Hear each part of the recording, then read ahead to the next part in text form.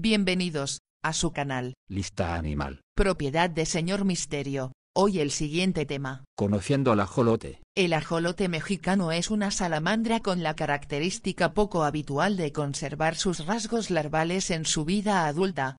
Esta condición, que se conoce como neotenia, significa que conserva su aleta dorsal de renacuajo que recorre casi la totalidad de su cuerpo y sus branquias externas, que sobresalen de la parte trasera de su ancha cabeza en forma de plumas. El ajolote. Se encuentra únicamente en el complejo lacustre de Xochimilco, cercano a la Ciudad de México, y difiere de la mayoría del resto de las salamandras en que vive permanentemente en el agua.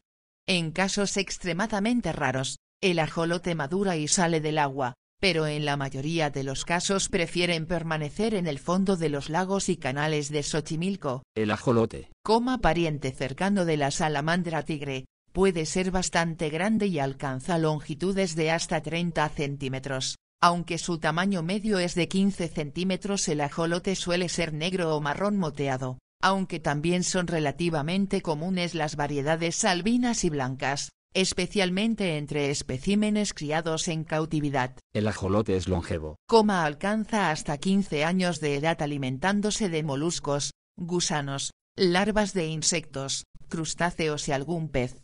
Esta especie, acostumbrada al papel depredador en su hábitat, ha empezado a padecer la introducción de grandes peces en su hábitat lacustre.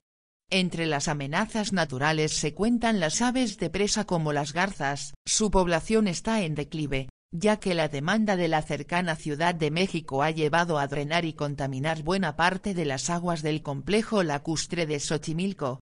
También es muy común utilizarlo en el comercio de acuarios y el ajolote asado se considera un manjar en México, lo que ha llevado a que su número se reduzca aún más. Se lo considera una especie muy amenazada. Gracias por suscribirte a canal Lista Animal. Sigue disfrutando de nuestros diversos temas sobre animales. Este es un video para compartir. Ay no olvides visitar el canal Señor Misterio. Hasta la próxima.